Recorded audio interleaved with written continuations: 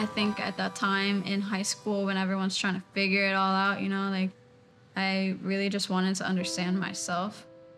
We were never taught how to work through anything in school, especially if you grew up in a household that you didn't feel comfortable showing emotions.